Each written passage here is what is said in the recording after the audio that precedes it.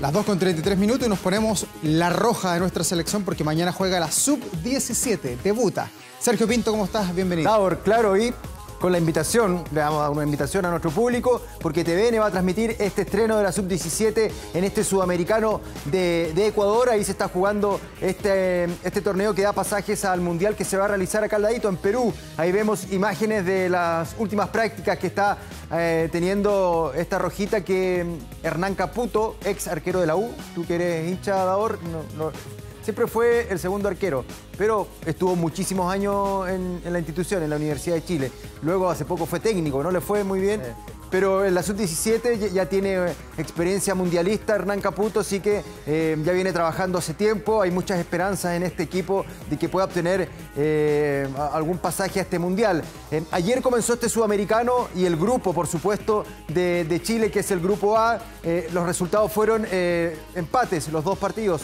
Eh, lo, que, lo que es bueno para la Roja porque si llega a ganar ya se comienza a meter en la discusión. Son cinco en el grupo clasifican tres a un hexagonal y clasifican por supuesto seis y de esos seis van cuatro al Mundial de Perú. Así que eh, hay chances por supuesto de, olvidar lo que hizo por ejemplo la sub-20 que no le fue nada de bien, que tenía buen equipo el, cuadro del Pato Ormazábal, no logró ir al Mundial. Así que eh, hubo empate 0 a 0 entre el local Ecuador, mientras que Colombia y, Uruguay también eh, empataron sin, sin, goles. Así que y, Brasil en, en el segundo partido empató 2 a 2. Así que son todos tienen un punto y Chile tiene cero porque no ha jugado todavía.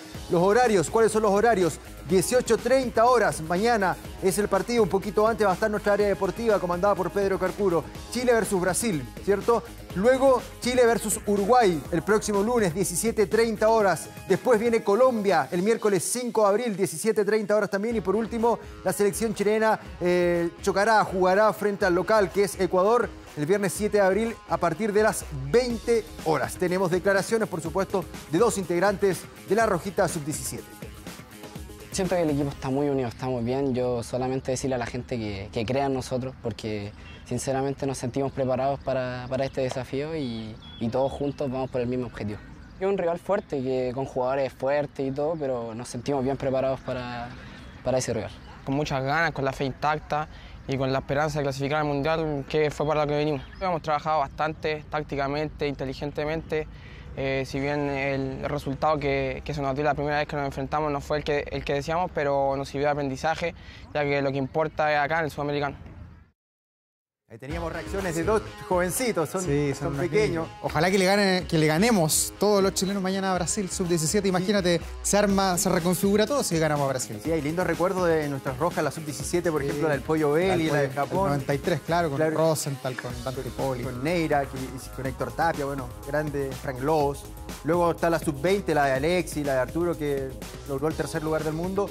Eh, y se me está acabando alguno. La, de Navia. ¿Ah? La de Navia. La de Navia, que fue al, a los Juegos Olímpicos pues. de, Sydney. También hay un Mundial Sub-20 acá en Chile el año 87. Así que hay historia de, nuestras rojitas, ya sea la Sub-20, la Sub-17. Esperemos que a esta le vaya bien. Así que repetimos mañana, poquito antes de, las 6 y media, 18.30 horas, Chile versus Brasil. El estreno de la Roja Sub-17 en este torneo eh, sudamericano que da pasajes al Mundial de Perú. Cuatro equipos van a, este Mundial. Así que vamos a estar atentos a, esto. Davor Juranovic el día mañana, el lunes, el miércoles y el viernes que van a ser los cuatro partidos de la Roja. Seis y media mañana, entonces, TVN. El lunes y miércoles 17.30 horas y el próximo viernes frente a Ecuador a las 20 horas. Así que ahí está, vaya anotando en su calendario eh, los horarios de la Rojita Sub 17.